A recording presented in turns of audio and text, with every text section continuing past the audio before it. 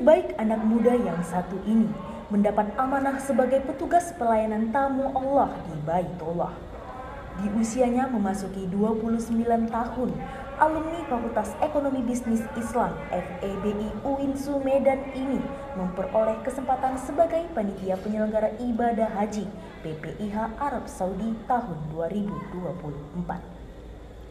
Dia adalah Muhammad Hafiz Cikri, satu dari ratusan petugas yang diberi tanggung jawab melayani jemaah di daerah kerja Daker Bandara sejak 28 Mei lalu. Bagi pria kelahiran Medan, 6 April 1995, sulung dari tiga bersaudara, buah perkawinan Haji Rosnadi almarhum dan Hajjah Misbah Suhaida Harhab ini melayani jemaah khususnya dalam penanganan jemaah lansia. Enggak apa-apa, apa-apa. Mabrur, Ya, mabrur. Bapak sehat-sehat ya. Bapak yang penting sehat.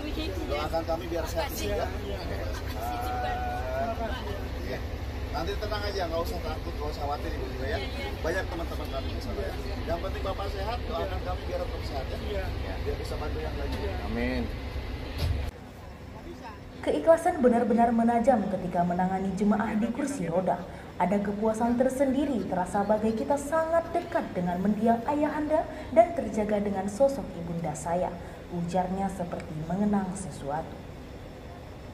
Hafiz Jikri cukup menyadari keberuntungannya yang harus dia syukuri kepada Allah Subhanahu wa taala. Terlebih, setamat kuliah dia berkesempatan diterima dalam pengangkatan pegawai pemerintah non pegawai negeri PPNPN tahun 2022 lalu. Kesehariannya bertugas di bagian umum Direktorat Pendis Kemenak RI.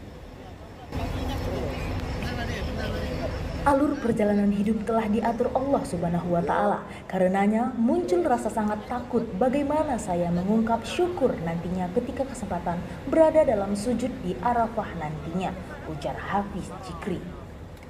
Lajang yang belum menemukan pasangan hidup ini juga mengaku sangat merasakan kecenderungan keegoisan terkikis dalam suasana kerja agresif yang harus dilakukan selama bertugas menyambut kedatangan jemaah di Bandara King Abdul Aziz, Jeddah, Arab Saudi.